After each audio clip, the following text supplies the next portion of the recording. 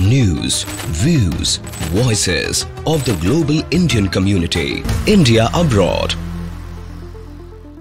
The 16th Akshay Kumar Kudo International Tournament was organized at the indoor stadium Atwalin Surat along with Bollywood actors Akshay Kumar, Sunil Shetty and Paresh Rawal, who stayed to cheer the players. Two Guinness World Record attempts were made by Vispy Kharadi on Monday. Guinness World Record for longest holding of Hercules pillar Renshi Vispy Kharadi set a record by holding a 160 kg pillar in both hands for 2 minutes and 10 seconds, making him the first Indian to attempt this feat.